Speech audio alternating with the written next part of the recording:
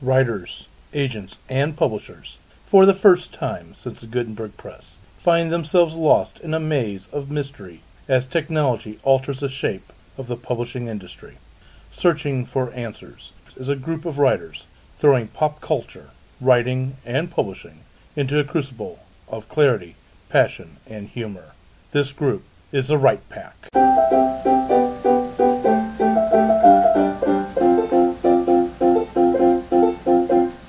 Welcome back to Write Pack Radio. This is your host, David Alan Lucas, author of science fiction, crime drama, and other insanity, and president of St. Louis Writers Guild. With me today is Fedora Amis. I am president of Greater St. Louis Sisters in Crime, and I also write Victorian whodunits like Jack the Ripper in St. Louis. And coming in February of 2016, Mayhem at Buffalo Bill's Wild West. I'm Melanie Koleini, um, author of science fiction, uh, fantasy, and nonfiction. I'm Leigh Savage. I'm author of paranormal erotic romance, erotic, and poetry, and under the name Carrie Lee Williams, I also have two children's books. Uh, I'm Brad R. Cook. I am the author of The Iron Chronicles. Dun dun dun dun. Uh, it's a steampunk fantasy. Uh, I hope you enjoy it. Uh, anyway, Iron Horseman is out there. Please check it out. Uh, love it as much as I do. And uh, coming in November, check out Iron Zulu, uh, the sequel. You can pre-order it now. Excellent. And today we're going to continue with the second half of a bunch of rules. This is from IO9, written by Charlie Jane Anders. 10 rule 10 writing rules we wish more science fiction and fantasy authors would break. And just like all other Write Pack episodes, this is not limited to science fiction and fantasy. So let's continue on. This to- this next topic though is science fiction. And that is no FTL. No faster than light travel. I this should be a brief one, but I'm going to say this: if you're writing hard science fiction, what do I mean by hard? The Martian just came out. That's a hard sci-fi. Yes. Um, 2001: Space Odyssey. 2010: Space Odyssey. Anything in that genre. I'm sorry, you have to. You can't have FTL yet. No. NASA's working on it. You can't do it yet. But yeah, other science fiction, um, be it If you want to limit yourself with modern science, Science. only, Exactly. you can't have faster than light. right Or you- time travel, right? or Yeah, time think travel. I mean, you can travel forward in time, like we're doing now. Yeah. Right now, we just moved Yeah, just a little bit. Interstellar has taught us that so well. Thank you, Matthew. Well, And there's a sequel. Yeah. yeah. well, There's you, a sequel you can also out. Cool. To. Interstellar with Matt Damon again. Good to know. well you can also I thought he died Matt Damon. in, in Interstellar. Oh, y- Not in The Martian. No, in Interstellar. I thought he blew up. Mars, and he's just going to come back. Come on. Anyway, They just stayed there. We Sorry, have go another on. way of spending millions of dollars to pick up Matt Damon somewhere. but he's going to do Bourne Identity or Born again too. So another- yeah. Okay, uh, but I was just thinking with the the time travel, you can. if you go faster, you're literally moving faster in time relative to the person that's going slower Yes. than you. So yes, you can do relative time travel that way. Yeah. So yeah, if you have someone traveling very fast, they could theoretically come back and be very much younger than you would everyone else. So can we talk about Star Trek and the real problem of all of the Star Trek movies and TV shows? Beam me up. That the people funny. back at Starfleet would age like so crazily compared to like Kirk or Picard. But that's the rest because of the them. warp field solves that problem. Yes. Well, Well, how is it not just taking time through the distance of space and time? You and know who handled that? stars? you know who handled that? Um, oh shoot, I just forgot his name. the guy who wrote the original novel, Planet of the Apes. The planet in the Planet of the Apes. Forget the movies. Forget the Charleston he- Charles Charlton Heston. Oh, but movies. those damn dirty apes. Yes. Even though they were good, um, Boulle. I can't think of his first name now, but I got the last name. Um, the way the novel worked, they the astronauts actually go to another star. They're they're ro- traveling relativistically faster than speed of light. And they find a they find a planet. It's run by apes. The human and the girlfriend he picks up on the way at the planet they leave that planet at the end. They travel back to Earth, traveling faster than light, relativistically. And they come back and they find out that Earth now is being run by apes and is a constant cycle between apes and humans in an evolutionary track. Is how that really all plays out. So now I ruined the book for you. Yes. I don't think I wanted to read it anyway. Uh, yeah. I- It, it actually is actually an interesting read, but we'll talk about that off off mic.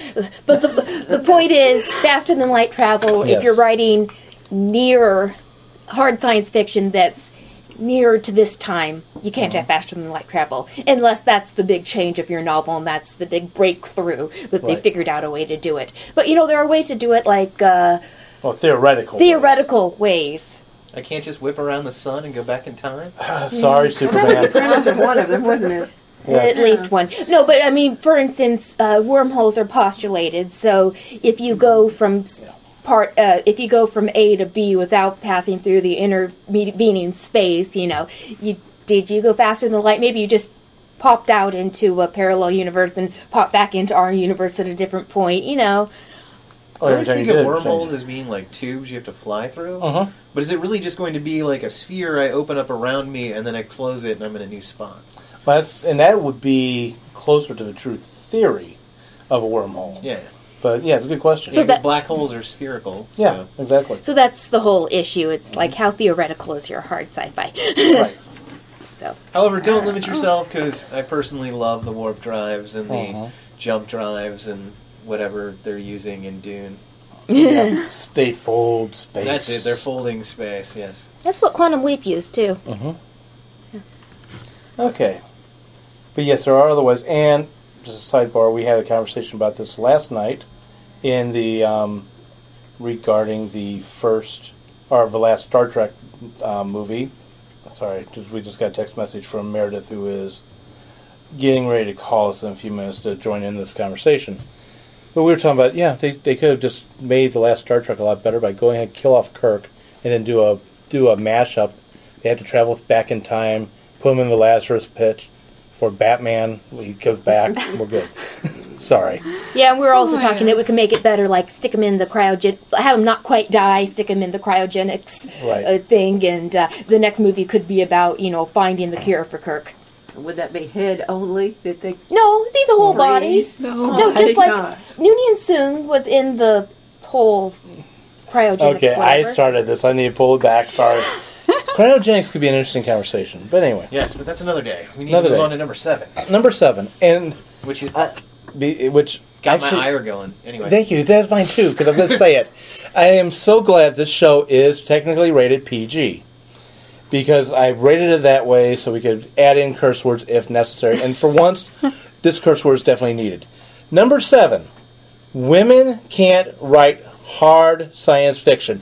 Bullshit. bullshit. Thank you. Bullshit. Yes, thank you. No, we have a limit but per show, so you know. Yeah. I'll reach it. Don't worry. Yeah, according you know, according to some society, some aspects of society, women just don't know how, don't know science, can't possibly write hard science fiction, and I'm going to say it again, bullshit. so, Or mystery, or oh yeah, or anything noir, or hard hitting at But- all. This is becoming more problematic with online. Everyone knows about everybody else, but that's why a whole lot of science fiction authors have published with their initials. Mm-hmm. not, and the thing is, not all of them are female. Some of them just publish their initials, which is why women can do that. And Yes. you know, Not get singled out. yes. but the reverse is true in other genres. Like uh, apparently, men can't write romance. Hello. BS. Some There, there are there Can't say are bullshit Some of the most again. famous, Yeah. like uh, Erich Segal with Love Story. I mean, how many millions did that sell? And then a movie. and there's actually men breaking into writing erotica now. Oh yeah. That doesn't surprise me. They're writing hardcore erotica, bad boys, and women love to read that. So, you know. So, if you're a woman out there, or yet a young girl who's looking to write, and hopefully you're of age that you got onto our show, um, yes, if you want to write hard sci-fi, go for it. All right. Oh, and just so you know, Huh. if you know if you if there's a book people like it, but they know you're a woman, they'll just say it's not hard sci-fi. Even though if the men had written the exact same book, they'll say it's hard sci-fi. That's Yeah, but that's probably going to change. Eventually, Eventually. We have so many, like, I mean, if you look at, like, you know, a lot of the NASA scientists, a lot of the planetary scientists Oh, yeah. and stuff like that, they're all women. Yes, I mean, there, there's some kick-ass women in uh, studying the stars and, you know, all this kind of stuff. there is a. And that's a- not going to change. yeah. They're great engineers. We've got massive astronauts. Yes. We've had this for 20 plus they're years now. So to be honest, the notion that women can't write hard sci-fi is Yes. probably an antiquated thing going away like the dinosaurs. Yes. Uh, I mean, if you think about it, one of the biggest things in sci-fi right now, it's not necessarily hard sci-fi, but to be honest, it's super hard sci-fi, uh, is Ann Leckie Yes. with her Yeah. trilogy. I mean, she's won every award. She's, you know, got. She made basically SFWA change their rules about who they let in uh, because, you know, she basically kicked down all the doors. Uh, so no. What does that? What does that stand for? Science That's Fiction what she Writers of says America. Okay. Uh, but yeah, so it's the kind of thing where I, you know, I, I just I, I think we have so many female scientists now, Oh, yeah. so many ladies who have grown up their whole lives, and, and probably now even, you know, scientists who are, you know, our age, and I say that as in their 30s and 40s, who didn't have anything growing up. So these are the women who are going to write that amazing hard sci-fi uh, and push it out Uh-huh. Oh. uh, and get it out. So that people Oh, and- have, you know, hard And- sci-fi written by women. I will say I've read I've read quite a bit of hard sci-fi that was written in the 50s and 60s, and it really was hard sci-fi. But some of those people, the story was great, but they couldn't actually write that well. it, it sounded Yeah. like it was written by an engineer for some strange reason. Well, and going back to what Brad's saying, we've had a change in science presentation to the public. Um, more recently, Bill Nye, the science guy, who's now in charge of Planetary Society. But that was, if you watch television, he was teaching science. You have Neil deGrasse Tyson. If I pronounce, yes, I, I, I love him from a science point of view. Though you did kill Pluto off as a subplanet, He but did not anyway, do that. well, I will defend Neil. no, he, he We was will have involved. He fight was involved, but anyway, where I'm going, I, and right now I can't think of her name to save my life. It is is a s- Hispanic name, but she is doing the same thing, and she is popular in the science world. And God, I can't, I can't believe I can't think of her name because I'm sorry, ladies, I'm going to say this. Not, she is one very beautiful, hot, intelligent scientist. It's this point blank. I'm going to say it right there. Yes, I have fetishes for Little traces smart of those prejudices still no, it's actually the prejudice there is yes. Um, any woman can do it. I'm just saying. Even if she's beautiful? Actually, the intelligent part adds the beauty. Yeah, you see, the the uh, problem is uh, you can't remember her name. I know it's, it's because I can't remember some other names, and I, get, I, I I know I got her name. I just can't pull it You're kind of outnumbered here right now. I'm going to stop burying myself. Actually, I'm going to look her up while Yes. I'm talking. He's blushing, by the way, everybody. Anyway, number eight. Magic has to be just a minor part of a fantasy world. Uh, excuse me, Star Wars. Enough said. Yeah. Um, go ahead. What do you guys think about all that? To be honest, uh, it, it it bugs me. I, I hate the thought, and I get it. You know, we we this this is a backlash to what was TSR probably TSR. uh, the seventies. It's not. Uh, it's basically the, the publishing company that published all the D and D novels. Um, but they were super heavy. I mean, the classicness of every cheesy sci-fi convention that you can think of, or fantasy convention, I should say, uh, came out of those TSR novels. So I get why we had a backlash to that in the sense of magic had to kind of go underground and become a little bit more subtle, something woven in. Uh, but I don't like that. I think there's. I love the idea that you can bring in magic in every different way from uh, the the people who draw energy in from around them, like benders or something, uh, or to uh, you know the concoctors who sit there in their kitchens and mix up jars, mason jars with spells in them uh, to smash and destroy and release the spell. Uh, I love the idea that you can take magic and kind of go almost any direction with it. I I do like that magic can be an integral part of the world. I mean, if you had these powers, people would use them all the time. Come on. On the other hand, in world building, I've noticed I've been playing D&D and this is the first campaign I've been in and there is just so much to learn.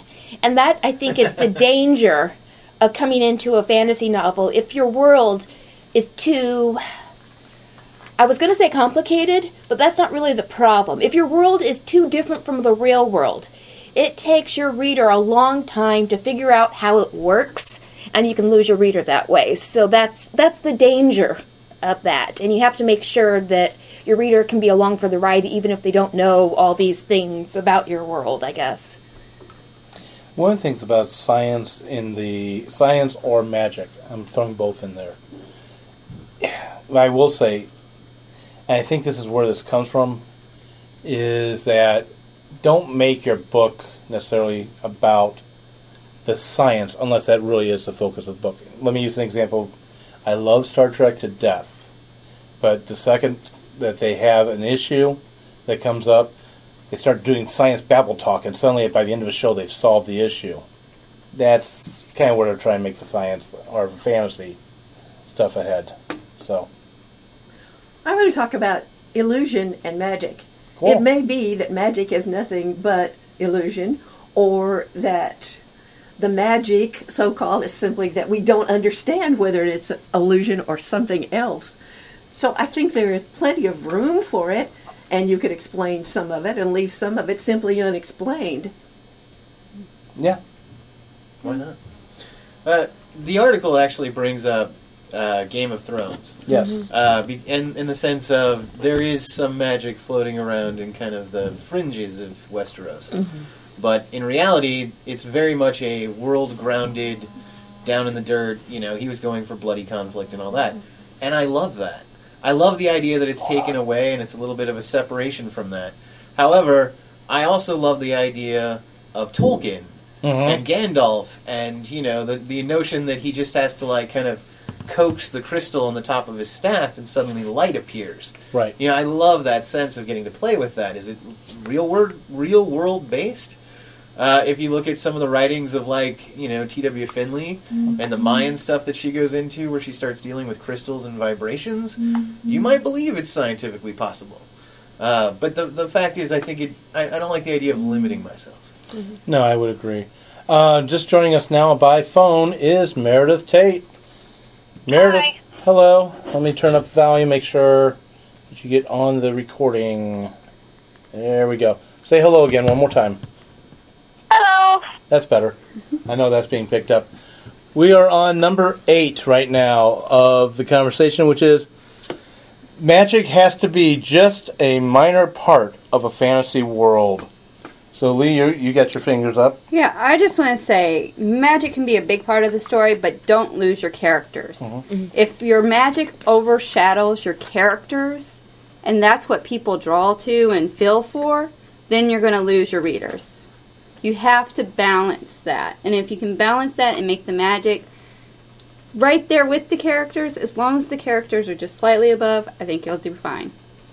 I'm going to say real quick. I, I, my explanation a moment ago was not as good as I would want it to be. So let me just throw out two examples of what I was trying to talk about: Babylon Five and the remake of Battlestar Galactica. Science was very important, but they didn't sit around talking about how to make blasters. I, I know that's not the terms they use. PPGs. They didn't sit around talking about how to make Starfuries or go back in time or anything it was treated the science of it was treated like how we live today. How many of us will sit around and talk about how to make a microwave oven? Not like. That brad. Well, I was going to say, and kind of piggybacking on what Lee was just saying about uh, using magic in your world. You know, as much as I love magic and want magic around and want to have fun with it and play with it and you know use it to open doors or you know have fun stuff like that, you should never have it be your plot device. no Uh, and the reason being is that you know, just as the Deus Ex Machina stuff comes in, uh, unless of course you're going to be Luke Skywalker, who's you know using the Force to send the, you know, proton torpedoes proton down torpedoes into the Death Star. yes I have a point. Go for it. Okay. So I'm actually going to say something kind of the opposite. And forgive me if it's already been said before I got on the phone, but I actually get frustrated if I pick up a book and it's labeled as fantasy, and there is literally it's pretty much in our world and one tiny magical element. Because I'm just like, it's okay. I picked up a fantasy book looking for a fantasy book. If I had wanted some small thing that was different from our world, I would have looked for magical realism. And I actually just had that experience recently with um, I'm not going to say its title, but a pretty big YA fantasy book that was marketed as YA fantasy, and it might as well have just been YA historical fiction because Or magical there was only realism? one tiny hint of magic in the very end, and I was like, what? What is this? So I'm going to say that I actually like when a book has a lot of magic in it. Yeah, I would agree. I just want to point out that my area is mystery, and you can't use a lot of magic in certain places for sure, because people want answers and they want justice in mystery, and especially they want justice in wrapping up the end of it. You cannot, by mm-hmm. magic, get a locked mystery, locked room mystery solved. You cannot do it. It Yeah. is cheating your audience in a very big way, and it simply won't do in mystery. Uh, sorry, Harry Dresden. There, Harry Dresden is the is the Exception? exception to that rule. Yeah, but I so totally is an exception because it's not like he just uses magic to solve every crime No, he walks up exactly. to. He uses magic like a As a detective tool. use- uses his forensics tools. you know? Exactly. So instead of having to like bring down the forensics team to pull up that print, he just uses magic to detect the print. Exactly. A good example. I'm glad you said forensics because I was going to jump in here, throwing in the science again. If you have a forensics team in a mystery, unless they are important to the story, I don't know why you would have a conversation about this is how I detected DNA by running the blah blah blah blah blah blah. You Yeah. lost. Can you we lost talk it. about the fact that CSI is basically magic? Okay. uh, um, okay, I've said this before. I've said this before. CSI is good. I liked CSI for the first couple of seasons. Oh, who doesn't love all ten or fifteen CSIs? But, but, it is unrealistic.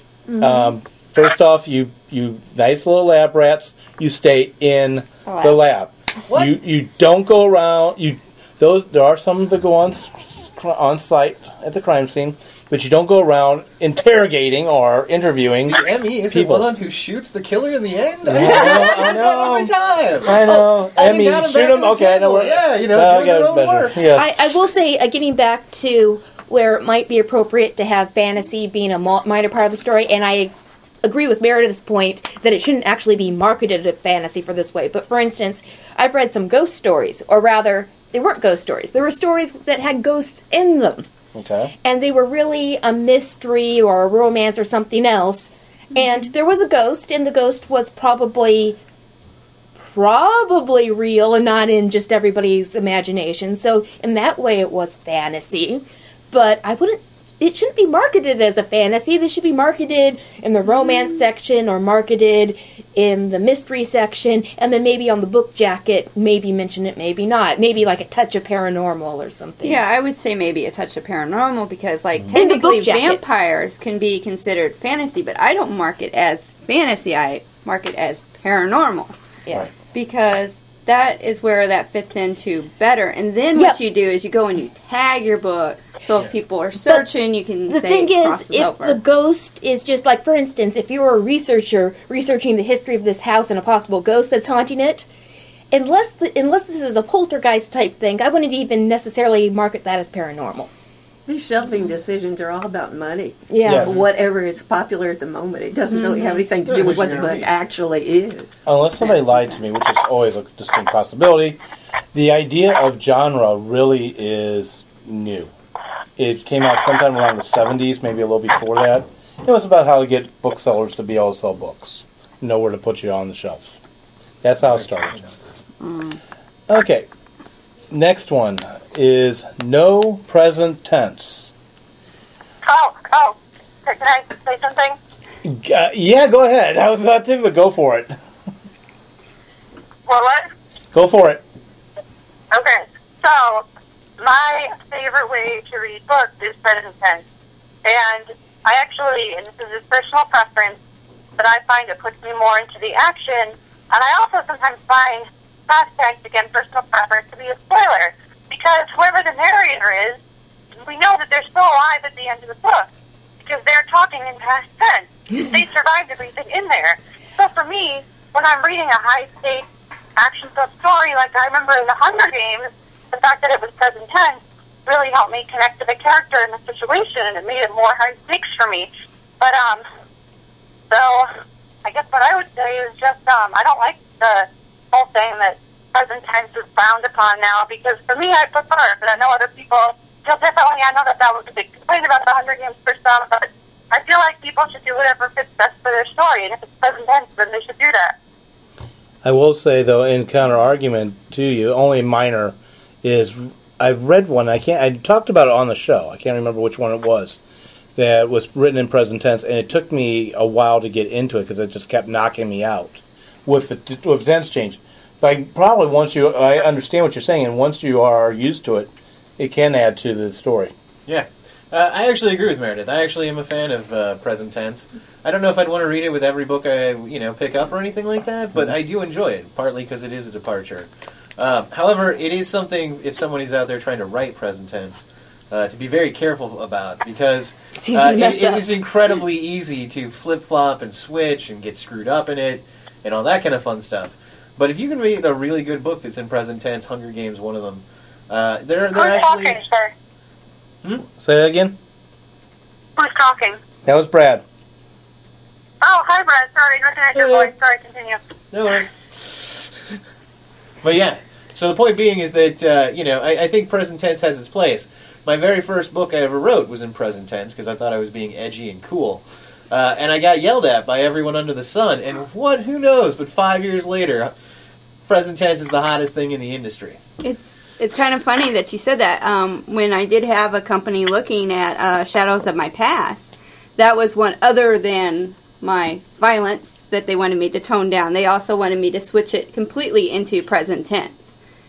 But they gave me, and they were like, "Here's some article clips on how to do this," and I was like, "What? You're going to uh-huh. completely change my voice?" And I, I may have looked into it more had it not been that they wanted to cut other elements out. But I was like, I actually had a request for that, and I thought that was strange. But I have an absolute aversion to present tense. I cannot stand it because anytime I start to read it, I see a teenage girl flipping her hair and saying, "Oh, you know," and I go- and I go, "Mm, "You know." Um, If you could, sometimes I really wish we did have video.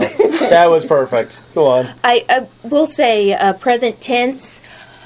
There are ways to do it badly, but if you do it really well, it has some uses. Um, for example, if you're it puts you more, more or less right there in the story, but it also makes it very convenient if there are flashbacks because it makes it immediately obvious when the flashback is because then the flashback can be in past tense because this happened before. Mm. Yeah. yeah, Okay. What's our next one? My, my Number phone- 10. Oh, no. No unsympathetic characters. Oh, okay. What? No, I- somebody who's pure evil. yeah. Yes. I, I have I write guy. unsympathetic characters, but they are my bad guys, and you're not supposed to like them. You're supposed to go, yes, they got their justice in I- the end. I don't understand the, the rule. It's saying there should not be any. Uns- Yeah. Uh, let me let, let me re- let me read the thing. Yeah, late, lately, well, just throwing it out. Lately, Yeah. you're supposed to not have the pure evil bad guy. You're supposed to have the Oh, bad they're guy supposed to be complex. who is the I hero of their own story. You can still do that and still be Yeah. evil. Okay. Go ahead, read. This is this is what was written on the article. It's certainly true that if you're going to have a main character who's totally who's a total bastard, you're going to have to work harder to win over the reader.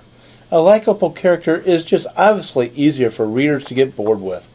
On That's true. board with. On board with. I'm sorry. Or maybe that. I, I, that, that was a Freudian slip. I'm sorry, that was a Freudian slip because I almost said yes, hello, Superman, right after that word. Um, but okay, but at the same time, feeling constrained to make your protagonist or all your major characters as sympathetic as possible can put a straitjacket on your writing, and that's true. If you, if, um, you know, if you don't, how do you make a killer who wants to commit genocide. Genocide. Genocide. Okay. You said. Genocide. Damn it. I'm going to genocide this. Wow, this is what I get for talking earlier about something else. Anyway, that accent came out. Uh, genocide. Um, how do you make him sympathetic? Why should you make him sympathetic? Okay. Can I say something? Yes. you may. Sorry, I, I never know because I can't put my fingers out. Um, okay. That, that's funny if you do have them, just in case. So, an example that I would give here is in the Harry Potter book, uh, which is always the example I provide on this show. But one of the reasons why I found the villains in Harry Potter so compelling is because, like, even though their opinions and their views were so wrong, I could see how they came to those views given their situation. And I really liked that because if a character is just evil for no reason and they just evil because they want to be evil and they just like being evil, like they're like that makes no sense. Like where what are your motivations? What are your beliefs? Why do you feel the way you do? And in Harry Potter we learn about Voldemort's past. We learn a little bit about Bellatrix, about Snape, and they're shown like Voldemort is evil, but we know why. We know how he got that way. And But Snape is so morally several gray. He's such a con- like such an intriguing character that he really compelled me to learn more about him. Whereas if he was just one way or the other, good or bad, I think I would have just been like, oh, beyond like that's okay, moving on. But I, the fact that they're morally gray, I feel like it's so compelling to me. And I would agree. However, what we can end up with is the Darth Vader effect, Yes. which is where you take the scariest villain in the history of cinema and you turn him into a little boy, and then you turn him into a whiny little teenager, and then finally you turn him into a guy who starts killing everybody, but by that point, we're just sick and tired of it and we want him to get into the damn suit. so, as much as I love the sympathetic bad guy, you know, Darth Vader is a little bit less now because of, you know, whiny Padme wanting, you know, Anakin. So, But I, I will say, but what about just the original trilogy, episodes four, five, and six? You know, at the end, Vader was redeemed and Yeah. became Anakin again, and that made him sympathetic. yes, and that was actually quite awesome. Yeah. Uh, and in, you know, in Iron Horseman, I have a supervillain who's half bronze, uh, and you just, he's an evil dude throughout the whole first part of the book. However, in book two, you will find out why he is an evil bastard, why he hates the world as much as he does, and all that kind of fun stuff. Uh, and I do not plan to redeem him in three, but in three, you'll get to learn kind of why everything in the world's going on. So I think you need that kind of progression in a story, and I think showing the sympath- the sympathetic side of your super evil villain can be a wonderful thing to do as the story progresses. But I think you have to walk that fine line of not making him too sympathetic and turning him into whiny Anakin. Yeah. I mean, uh, let me take one of the most should be unsympathetic bad guys in our history, in the real world. Adolf Hitler. Um, point blank. Every reason to hate him. But yet he was a dog lover. He loved his little Still doggies. doesn't make me like him. Doesn't make me like him either, but He you liked at least- art. Still doesn't make me like him. um, He was a you like beautiful kids, artist, same but- thing. Yeah. No, I still want to go back in time, and yes, I would shoot him. Uh, but anyway, but what I was to say is, if you can, the trick is get what avoid the, The mustache twirly- twist Yeah. and make them look human. Don't need to make them look sympathetic. Let's go to the world of mystery for a moment. And Go for one it. of the greatest villains of all time, Moriarty. Oh, And God, he was never a nice guy, frankly. No, Yeah.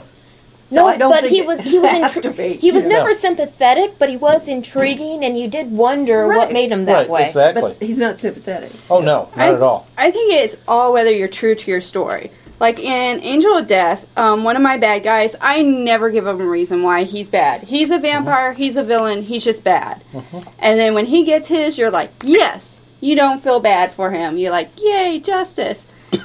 Whereas in um, Shadows of My Past, I have the serial killer, and he starts out bad, but you do find out what makes him turn and kind of lose his mind a little bit into this twisted sense that he thinks he's killing all this evil when it's just normal people that have psychic abilities. And then you feel a little sympathy, but not enough that it's like when he gets his that you're like, oh, he should have been saved. Really ultimately what I'm hearing from everybody is the trick is the important thing is not you don't have to make a sympathetic character. You can make him unsympathetic. The trick is not to make him a cardboard character. And I'm going to throw out there. I know poor Fedora's going to hit me. Well, she can't. She's at a distance, but still, I'm going to throw out my old fast, my old favorite whipping boy on this, and that is John Steinbeck with the Grapes of Wrath. The good guys were very well filled out characters, and the bad guys who were the banks and so forth were cardboard, and that's really what, for me and for a lot of others, kind of made the story not workable. And that's what you're saying. If mm-hmm. I'm hearing anybody disagree, No. the idea is make the character non-cardboard. Now, I will say that in a lot of World War II movies, like the traditional ones, not the ones that made recently, but mm-hmm. the ones that were made much sooner after the war, the bad guys were kind of cardboard. It was the winning of the good guys, that was the point, and the bad guys were just evil because Yeah. they were the bad guys. They were That's a bit of propaganda. propaganda. Yes. Propaganda will always do that. Yeah, but that's I think that's the point when you have the bad guys that are just the bad guys, it feels like propaganda. yeah, This is true. And I think the other what Go, go ahead. for it. Meredith, Yeah. what were you gonna say? Uh, oh, oh. I wanted to make another point. I, it's, it's so hard for me because I can't tell if somebody's done speaking because I can't see everybody. Oh, that was Melanie. Okay. Um, We'll have to get a. Can I talk? Can I say something? Yes. yes. Okay, sorry. I just before before we finish the topic, I just wanted to bring up Gone Girl, um, because that's a book that's in dual perspective, and both characters are so morally gray, and it's not even clear who's the protagonist and who's the antagonist until the end. But even though both characters were so unlikable, I mean that book was a huge success. Like everybody wanted to know more about them. I think it's that you don't need to worry about making sympathetic or unsympathetic. Make them intriguing and make them Yeah. complex and make them a character that people want to know more about. Exactly. And Yeah. Meredith, just because you were a little bit unclear at the beginning, you were talking about Gone Girls, and I don't rem- Girl. a Gone, Gone Girl. Girl. Sorry, Gone Girl. Sorry, I don't remember the author of that one, but you're right. And It's Gillian Flynn. Gillian who? Flynn. Flynn. Gillian Flynn, and yeah, it's it's a fascinating read, and yeah, you're Yeah, but part of the reason why it became a success is because of the ambiguity. both ambiguity. characters are so un- unlikable. I mean, you don't like either character. Oh, forget about either. book. You don't really like any character in that book. That, that might be true, but between the They two were main interesting. characters, Yeah. uh, you know, I mean, neither one of them is a very good person. Neither one of them is sympathetic. You really kind of enjoy that both of them get it in the end. Uh, I have no idea why they got remarried or whatever, but Yeah. that was weird. Okay. Anything else? Okay, now I want to ask a question, and this I'm also going to ask to our listeners. I'm going to ask that you post on Facebook or tweet to us, or um, I guess that's the only way, or at least leave a comment on Blog Talk Radio's the show's comment fi- field. What are some of the other things that you see writers doing that you wish they would other rules they're following that you wish they would break? Does anybody have one? And right off the bat. Yeah, the Hollywood ending, the happy ending. Uh, yeah. because while uh, the movie industry seems to think you've got to have it, some of the best or at least most famous movies of all time didn't have it. The ending of Gone with the Wind is ambiguous at the best as he takes off and she just says she's going to think about things tomorrow. You know, I'll think about that later. So that it seems to me that we need more flexibility in what kind of ending is acceptable. I'm going to throw two examples, and then I'm going to let either Meredith or Brad go next. Two examples of what uh, that I feel that fall right into what you said. One book, Charles Dickens, Tale of Two Cities. The guy's sacrificing himself in the end. He doesn't have a happy ending. Unless you want to think, oh yes, I saved the person who I want, who I love. Okay. Second one, this one's a Broadway show, Miss Saigon. If you haven't seen it, um, let's just say there's a suicide at the end. Brad? Well, kind of piggybacking on what Fedora said, what irritates me is the simple Hollywood plotline. That now every book has to follow as Yes. well. We can't tell a story that doesn't have a beginning, a middle, a black moment, and a climax. Mhm. And heaven forbid you deviate from that structure whatsoever. And I'm even talking about taking your climax and stretching it out taking your black moment and you know maybe even having it be for a you know a segment of time. You know, like in books, it used to be you could explore, you could have fun, you could get crazy, and then when they made the movie, they would trim it down to that simplest storyline possible. Uh, but now we've kind of moved into an era where people expect this kind of What storytelling. is the name of the, the book? It has cat in the title that explains that format. Um, something, Save the Cat. Save the cat. Yeah, That's it. Yeah. Yeah, You had so that I, I one. wish we'd we'd break out from the basic roller coaster story structure. Yeah. Okay, so break out from story structure of a happy ending, shall we say, or away from Hollywood. What's another one? Um, this not so much with movies, but with books. For a while, it was plot doesn't matter. I actually think plot does matter. Yeah. Yeah, I I would also throw out that I, I would like to see the you know the continuation of the kick-ass warrior women because I enjoy them, uh, but I would like to see them mold out of the you know kind of sense of either it's coming from a sense of rebellion or Yes. you know it's coming from a sense of fighting back against something and, and just the ability to be. Um, I, I'd love to see more intelligence thrown into some of these action stars as well. Uh, we tend to like the dumb action hero. Um, I, I would really, and I'm talking male, female. I Yeah. mean, it doesn't matter which side you go to, but I would love to see more of that nuance come into an action character, uh, as opposed to just you know punch them in the face and move on. Not that I mind. Tied in. This yeah. is, no, this is a different thing. Okay, I'm going to jump on this because he made me think of it, and it's one thing which I wish would go away. It's an entire list, so I'm going to just say Google this: women in refrigerators. We've talked about that before on this Yes, show. we have talked about this on the show. Um, a movie that used it recently, The Equalizer. I did love the movie. Don't get me wrong; it was a kick-ass movie. I loved Denzel Washington in it. But the one thing that bothered me is what got him started was a woman in refrigerator situation. Yes, uh, the the girl was never in a refrigerator. If you go and read the read what I'm talking about, you'll understand what I'm saying. On an entirely different track. Entirely different track. I wish that Kathleen were here because I think she would want to talk about this. Uh-huh. And it is the treatment of gays and lesbians. yes. Most especially that they have to either be in the sack or hating each other or some weird thing like that. I think it's possible for gays to be friends with other gays and not. Excuse me. It's okay. We're already- We've already, we've already gone there. Oh, we have gone. Wow, wow. She is turning red. I'm not turning red. No, no. Um, I completely agree. I mean, I it's the think I notion also. shut up. I thought we had the whole Harry met Sally thing where guys and girls can't be friends without getting it on. yeah. You know, I, I think it's the same thing. You don't have to have, you know, every relationship doesn't have to be bound around these kind of, you know, what are archaic conventions. Um, to be honest, you can move forward with anything. I would love to see more diversity, and I don't just mean diversity in terms of gender or sexual orientation or anything like that. I mean in the characters that we show. I mean, if you think about it, we show all the same characters. We show the slut, we show the prude, we show, you know, the jock. We I show mean, the we arche- basically the show the, the bre- yeah, we show the Breakfast Club. Yeah. Uh, you know, we, we pull from those and move them around. The popular person, you know, the, Mm-hmm. the nerd, and all that kind of stuff, and we just move those archetypes around, but we keep them very much in that set stereotype. I would love Mm-hmm. to see more nuance. Agreed. Can I say something about that? Yes, you may.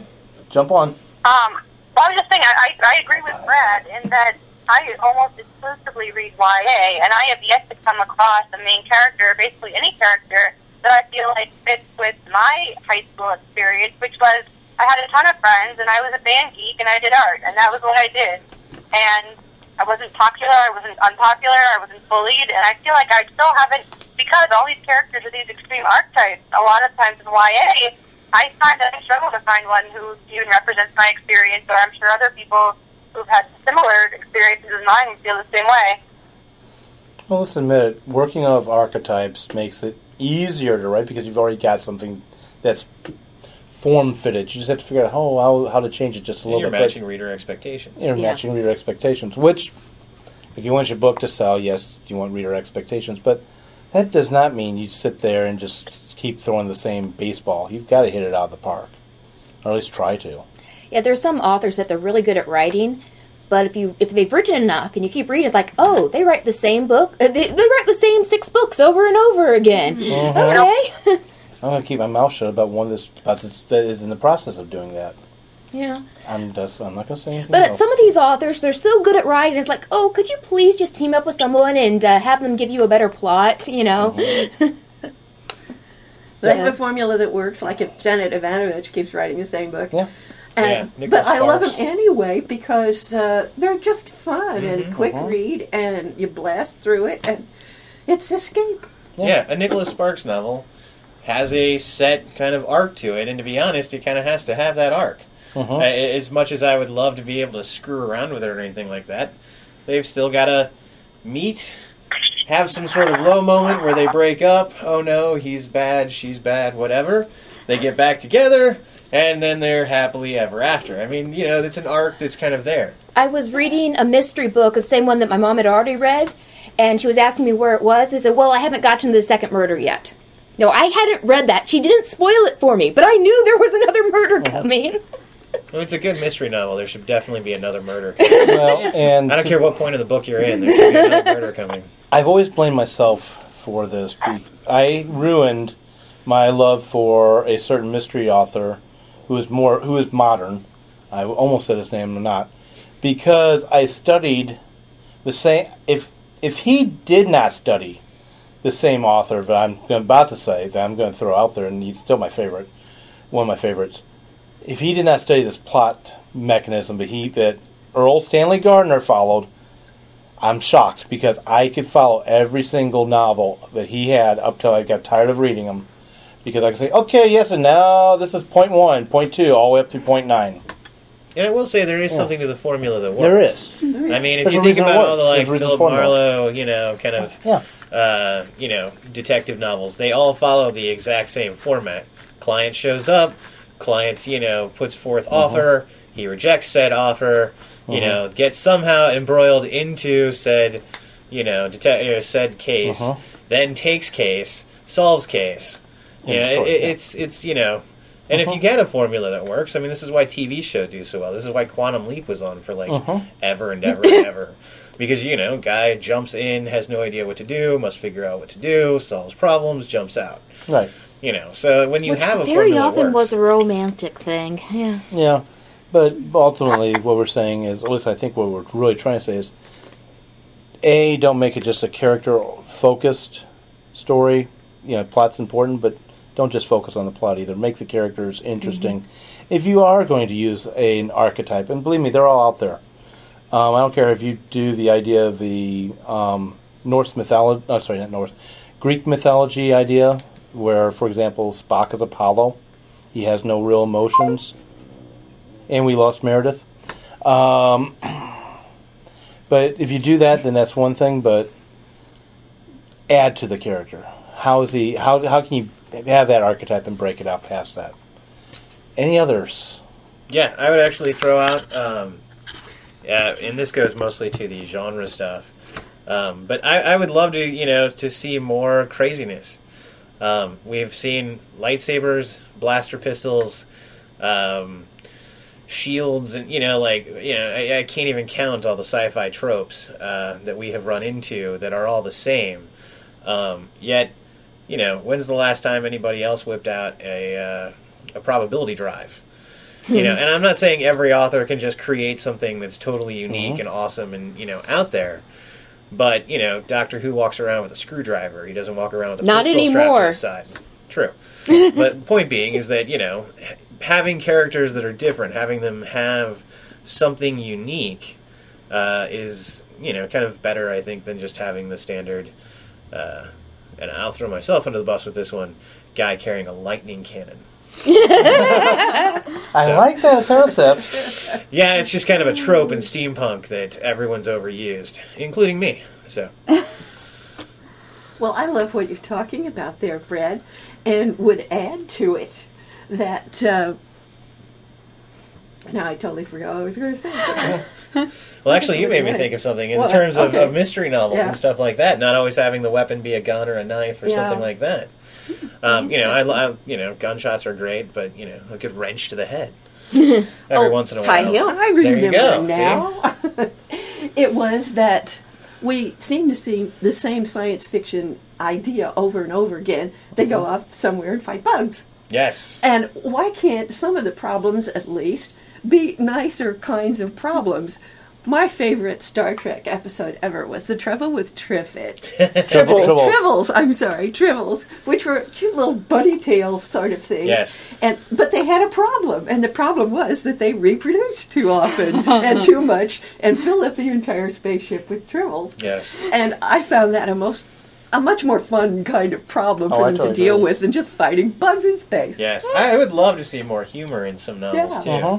and not just you know like you know even like the bug fighting movies or something like that. Not just having the guy make some sh- you know snarky comment before he blows the bug's head off, but you know, can I have a planet of cat people or something like that running around who are you know getting crazy or having chasing their hairballs or something? You know? There actually used to be a series out that were cat people, but the, can find them the in some video company the company went under, and no more books came out because when they went under, they had her whole series Mm. in lock, stock, and barrel, and she couldn't put out any more of the books. But something like the Lego Movie, hmm you know, which is, you know, it's a great movie. I, I love it. It's kind of fun. But the point is, is that in that movie, they throw convention to, you know, straight out the window, going from everything from the Duplo blocks, you know, up to like, you know, modern day where they have all the crazy little blocks that can make, you know, anything under the sun. Um, but nothing in that is is standard. Uh, everything is kind of unique and twisted and stuff like that, and it ended up being a great thing. Yeah, I, I think I would love to see more of that. Hmm. However, I'm also a Star Wars geek, and I'm loving the fact that Seven's about to come out, and I'm going to get new lightsabers and new shields and new Jedi running around. And So- he he knows he wants me to buy one of those lightsabers so that he can go out there. We can go out there and start doing more sword demonstrations. But yeah, so the point being is that you know, as much as I, I I'm kind of advocating for less convention, I do see the point of it. I do see why there's out there, and you know, Star Wars invented the lightsaber. So. No, I, I, no, will- I disagree. They didn't invent it, okay, the laser They- they- sword, no, no, but no, they, no. they they they popularized it. popularized it. um. Now let's see if I forgot what I And was about to say. Oh, it. the um, the bumpy head aliens. Now, especially with CGI, we no longer have to make. In books, this was never an issue. With movies, with technology, it's not. Re- it shouldn't be an issue. But you do not have to have intelligent aliens be humanoid. No, And uh, I understand for a TV series made in the 60s why most of the aliens had to look basically like humans wearing a funny costume. Yeah. But That's now. budget issues. Yes. Yeah, but now we can do, especially in books. But even in movies now, we can have aliens that actually look like aliens. And they don't have to look like bugs either. But, you know, just. They don't need two hands, they don't need two feet. Can we get butterfly people? Well, yeah. I'm just going to start throwing pretty. out odd people. Well, I've had this up on my personal Facebook page not that long ago. It's a insect, about the si- almost the size of my hand. At least that's the way it looked. But it's actually a leaf. Looks like a leaf. Why Okay. can't they? I mean, it, it- I mean, if, it's still a bug. But if you look at the evolution here, if it's occurred on on this Earth, there's so many different, different, different types of creatures out there. Why wouldn't there be others in different different environments? My the favorite alien that I've created that I'm sure isn't unique looks much more like a octopus. It has six legs than um, There was one of those that served on the cartoon version of Star Trek. yeah. No, uh, the Edoan, yes, the three le- three arm, three legs, yes. Kind of baldish, blue, if I remember right. I think it was orange. It could be orange. I, I, I, don't, remember, I don't remember the color, but yeah. Yeah, I don't remember either. By the way, remember being in eh, it- sidebar: do look up Star Trek, the animated series. Oh, that was such good stuff. yes, it is cheesy, but oh, yes, Yeah. worth it. Okay, anything? Any other rules before we go? Any other rules you'd like to see shattered from time to time? Hmm. I would say the, the, the, the alpha beta male, alpha beta female thing. Mhm. Um, I'd like to see a little bit more nuance there, but to be honest, I don't know if that's necessarily going to happen because, you know, betas don't tend to run out and go on adventures. So, Yeah, Maybe you true. can have an Arthur Dent type hero. You know, he keeps You getting could. pulled along. yeah, that, Yeah. that's that's the way of doing it. But, Yeah. you know. Maybe we need some Delta heroes or something further down the Yeah. Greek alphabet. Exactly. Can I get an Omega hero? I'm not certain what that would be. But. Oh, that had to be a villain, I think. No, not necessarily. There was actually a story it had to do with a wolf pack, and there was an Omega wolf, and I forget what that meant. Yeah. But overall, though, I guess the ultimate thing is the rules do exist for a reason. Learn them, understand them, And know when you're breaking them. but break them intelligently. Don't feel don't fear breaking them. Break them, but do it intelligently. Sounds good. And on that note, we will catch you next week on Write Pack Radio.